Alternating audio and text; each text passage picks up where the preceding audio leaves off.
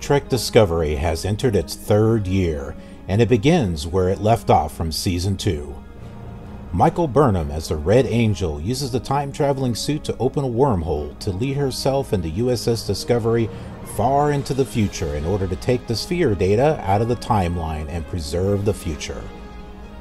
Welcome, everyone, to KILR TV Reviews, and we are going to take a look at the first episode of Star Trek Discovery Season 3 entitled That Hope Is You, Part 1. We'll go over what happened in the episode and afterwards give you our list of killer awesome things that we liked about it and killer awful things we didn't like. Please note that this review will include spoilers, so you might want to stop now and come back after watching the episode. It's 900 years later, and we are introduced to a man who wakes up at 0800 hours, takes care of personal hygiene, and goes to work at a desk carrying a box with the Starfleet logo on it. His duty is to search for a signal. What kind of signal? That we don't know yet. Now, this may all sound mundane, and it is, but there is a point and reason why we are being introduced to this at the very beginning. Meanwhile, in the midst of a junkyard in space, we see a chase scene between two ships that are shooting at each other. The one being chased is Cleveland Booker, who goes by the name of Book. His pursuer accuses him of stealing, but Book states that what he has belongs to itself. The wormhole from the past opens up, and Michael Burnham shoots out and crashes against Book's ship, damaging it and the suit. Both Burnham and the ship crash on the nearby planet, with Michael regaining control over the suit to activate her impact shields and reverse thrusters just in time before impacting the surface. Michael grabs her survival gear from the suit, which contains her communicator, tricorder, badge, phaser, and emergency rations. She calls for the Discovery since it entered the wormhole right behind her, but there is no answer.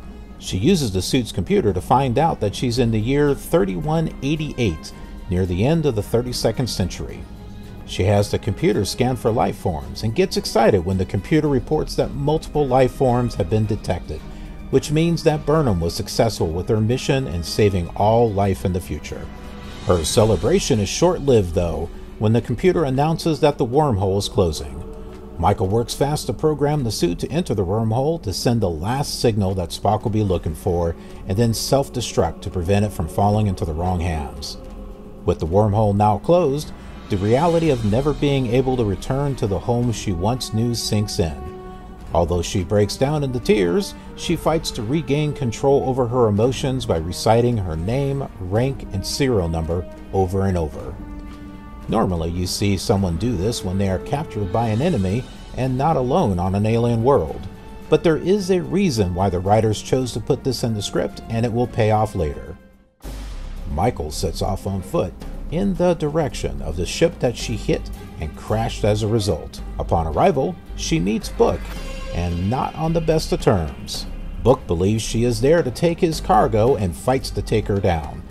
Michael gets the upper hand in the fight, explain that she's not trying to take anything and only wants help to find her ship. The Red Angel suit had an anchor point with the planet Terralysium, but Michael finds out from Book that she's on a completely different planet. Now lost, she begs Book to help her because she has no one else that she can trust. On board the ship, Book states that he's got to be somewhere by a certain time and his quantum slipstream drive won't work unless he can get more dilithium since what he had was damaged when Burnham crashed into his ship. Michael offers her tricorder, now considered an antique, and hopes that it will be enough money to trade for more dilithium. Michael and Book set off on foot to the mercantile, where he'll be able to trade for the dilithium and she'll be able to use their transmitter to contact Discovery. During this walk, Michael learns from Book that the Federation is gone, collapsed over a century ago, sometime after an event called the Burn. The burn involved the spontaneous explosion of most of the dilithium throughout the galaxy, destroying ships, taking lives, and making warp drive a rare commodity. They make it to the mercantile and are stopped by guards who will not let Burnham through since she is not an authorized courier like Book is. After showing the antique equipment that Burnham is carrying, and Book knowing that the bosses are watching, they are allowed through. Book shows Burnham where the transmitter is, but it winds up being a double cross and Burnham is restrained for illegally entering a vault.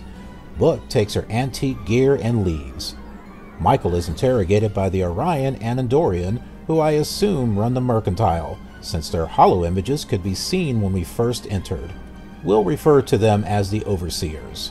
They spray Michael with a truth serum, which results in Michael babbling out things that she knows are true, but in no way that makes any sense to the Overseers.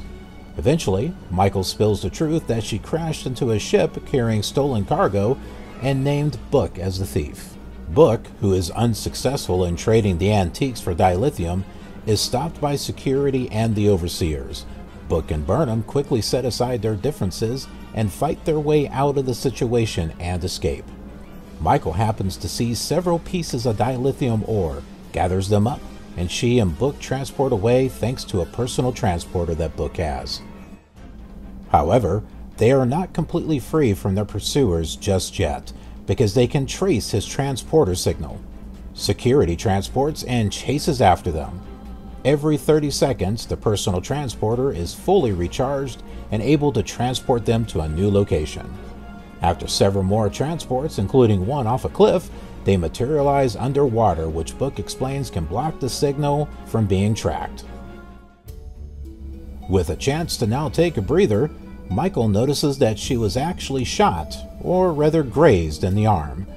We learn something new about Book as we see him going into a type of prayer that summons a plant containing a gel that will help disinfect Michael's wound and allow it to heal. Book offers Michael access to his communication device to contact Discovery. Annoyed that Book had this all along and didn't tell her, she attempts to contact Discovery, but again, no response. Book comes to the conclusion that Michael is a time traveler. They make it back to Book's ship, but are ambushed as the mercantile security forces and overseers transport around Book and Burnham. They demand the security code to book ship at gunpoint. Book gives his code, and they open the ship to reveal the cargo, a transworm, which is on the endangered species list. The transworm detects danger and makes short work of the overseers and most of the security forces, with only a few transporting away. Michael gets consumed by the worm as well, but Book has the ability to tame and calm the worm, who spits Michael back out. On their way to a place called Sanctuary, we learn a little about Book's past. He's from a family of poachers and killers who have practically disowned him for being the only one that was different. We also learn that the transworms used to be everywhere until the Federation collapsed. Once they arrive at Sanctuary, the transworm is released into the wild with other rescued transworms, just in time for the breeding cycle. His delivery complete, Book says to Michael that he knows someone who might be able to help locate her ship. Book takes her to what used to be a Federation relay station, and this is where the man from the beginning lives and works on a daily basis. Now we get the payoff as he introduces himself as Starfleet. Michael gives her name, rank, ship, and serial number. She asks if he can locate the warp signature of her ship, but he is unable to find anything within the sector. Long range sensors no longer work as a result of the burn, so he can't check any other sector. Michael explains that her ship was right behind her in the wormhole when they traveled from the past. However, based on temporal mechanics, Discovery could show up tomorrow, next week, next month, or not for even a thousand years. The man, who is a Federation liaison named Sahil, we learn has been watching over this station every day for the last 40 years, believing and hoping that one day someone from the Federation would find him. He was never officially sworn into the position because nobody has been around to do it, but he is what the people in this time call a true believer. And it appears Book is a true believer as well. He reveals the box with the Starfleet insignia that we saw at the beginning of the episode, and that it is the Federation banner that has been in his family for generations. Only a commissioned officer may raise it, and he has wanted to see it on the wall for a long time. Burnham gives him a field commission as an acting communications chief that can continue looking for the Discovery, and together they raise the banner of the Federation. Now that we've gone over the story, let's talk about 20 killer awesome things of this episode. Number 1. There were some beautifully composed shots.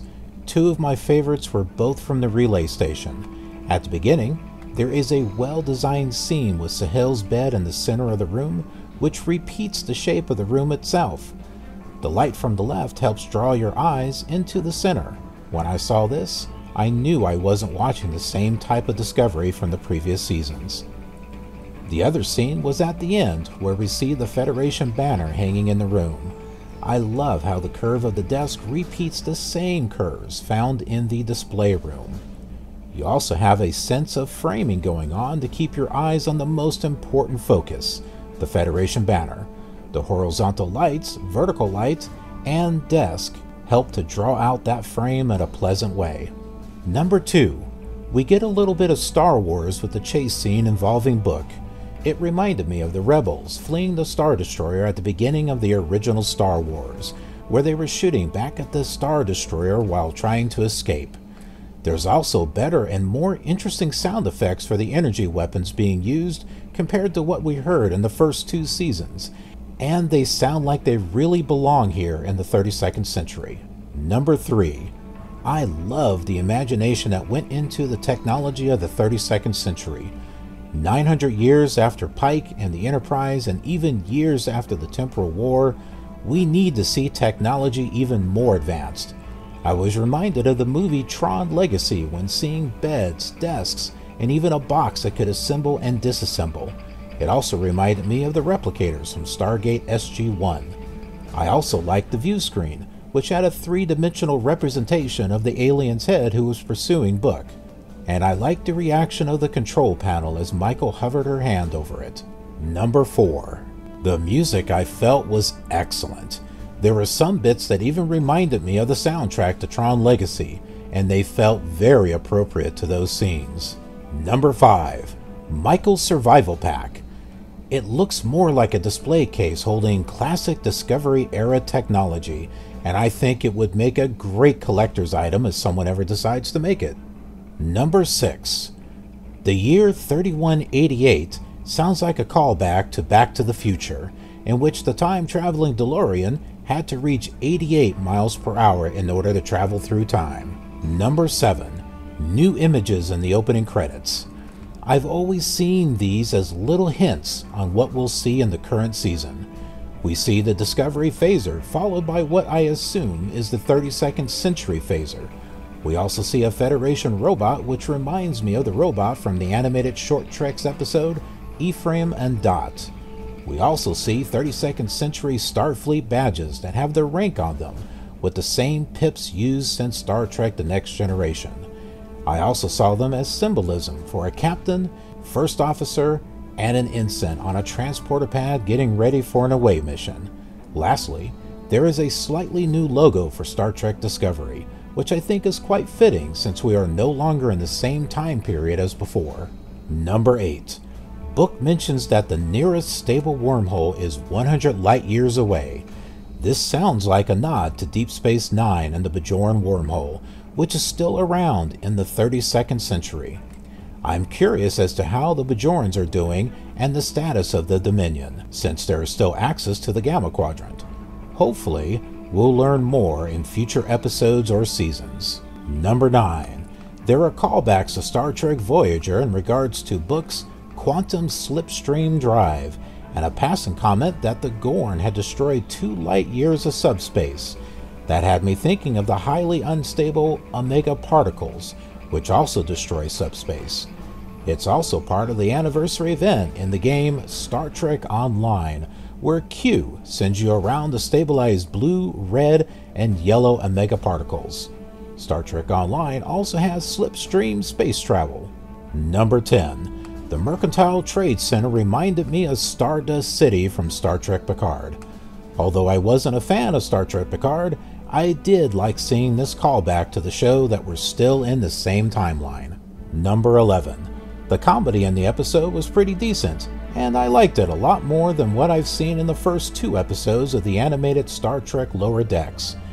Burnham was more likable in this episode too, especially when she was drugged by the truth serum. My favorite part was when she stated that Book was carrying something that was temperature sensitive and very valuable, and says that it has to be ice cream. Number 12. Book's cat, Grudge. He's pretty large, but I'm also thinking that his pet was also another animal that he rescued, especially since Grudge has a thyroid problem. Number 13. Personal transporters. I would love to have one of those, and it's about time. Number 14. Seeing the return of classic alien races such as the Orions, Andorians, and Tellarites. We even get to see Lurian, which is the same race as Morn from Deep Space Nine, who ironically was also a courier who transported goods. I wonder if the Lurian here is a descendant of Morn. I've also heard there was a Cardassian that was briefly shown, and I believe it is this guy here. His ears are different, and he doesn't have hair, but the ridges on the top of his head and skull remind me of a Cardassian. Number 15. Transporter skipping. When Book and Burnham kept transporting to random places after every 30 seconds, it reminded me of the hyperspace skipping that Poe did in the Millennium Falcon on Star Wars The Rise of Skywalker. Number 16. Book's connection with nature. 900 years is a long time, and it is nice to see someone have a connection like that with plants and animals. Although it seems a little like using the Force from Star Wars, I also remembered that Kes from Star Trek Voyager had a similar ability from the episode Cold Fire. She was also in touch with the very elements and building blocks of the universe in the episode The Gift. Number 17. A callback to Star Trek Enterprise when Book mentions the Temporal War and how all time travel technology was destroyed and banned. I think it also makes a nice nod to the game Star Trek Online, which goes into greater detail about the temporal wars featuring time ships, equipment, the temporal Accords, and a cool story about an alliance between many races to keep the timeline intact from those that would try to change it. It makes sense that all time travel equipment would be eventually destroyed, and maybe the burn is connected to it. Number 18. Book is a fantastic character from his first episode. I've learned enough about this character to really like him and desire to get to know him even more. The last time I felt this was with Christopher Pike in Season 2, who I thought Anson Mount did an excellent job portraying. Number 19. We didn't see the USS Discovery. Some may complain that we don't see the ship in the same manner as the first two episodes of Season 1. However, I think there is a lot more to the name of Discovery than just a ship. There is a lot that Michael Burnham had to discover in this new time. Technology she's never seen, a federation she believed in that has collapsed, and the real possibility that she may never see her friends again. And lastly, number 20. The beginning and ending scenes on the Federation relay station with Sahil act as bookends to the story featured in this episode and it felt very much like Star Trek when they revealed the Federation banner and how it symbolized hope. I thought that was a much better representation than what we saw in Star Trek Picard. With all things that are awesome, there's always going to be things that are not. Let's go ahead and talk about the nine killer awful things in this episode that either I didn't like or that bothered me. Number one, I thought Michael Burnham was way too emotional. I felt she was way overexcited when she learned that there were multiple life forms in the 32nd century and that she succeeded in saving the future. Now, don't get me wrong, getting excited is definitely an appropriate response, but I felt it just went a bit overboard, especially since Burnham was raised on Vulcan and taught to control her emotions. On the flip side, I thought she went overboard with the crying and despair Again, a natural response when you discover that you can never go back home, but it just seems like a little too much. I do like how they show Burnham fighting to regain control by reciting her name, rank, and serial number, and sticking to the known logical fact of who she is. Also, at first, I thought the scenes in which Burnham was loopy from the truth serum were a bit much, but I was okay with it the second time I watched the episode. Number 2. Book and Burnham walk all the way from his ship to the Mercantile Trade Center when he had a personal transporter the whole time. Number 3. Valuable dilithium ore just sitting out in the open. If the ore is a rare commodity, then it should have been more secure, perhaps in the vault that Burnham was accused of entering earlier. Number 4. I didn't care too much for the reimagined Andorians. Either they are a lot uglier, or it was just this particular Andorian. The Orions still look the same, and the Lurians look pretty close to what Morn looked like. The Tellarites still look ugly, so I don't think it matters there. I sure hope they don't ruin Klingons again. Number 5. Mercantile security forces shoot about as well as stormtroopers in Star Wars, meaning not good at all, especially those weapons they were using. How could you possibly miss? Now, it's quite possible that this was on purpose so that it would trick Book and Burnham into leading them to his ship. However, Burnham was supposedly shot, and I don't know how one of those weapons could just graze her without disintegrating her. That's like being shot at with a cannon or photon torpedo and receiving just a scratch. Number 6. Couldn't they think of another animal to use than a space worm? I would have preferred to see something a little more different instead of this current fascination of worms with the new Dune movie coming out. Also, the worm swallowing someone and then spitting them out seems a bit cliche and overused. Number 7. Book never explains why he didn't reveal he had a communicator that Burnham could have used to try to contact her ship. He could have explained that it was a matter of trust or fear that she was lying about contacting her ship. He just brushed it off instead. Number 8.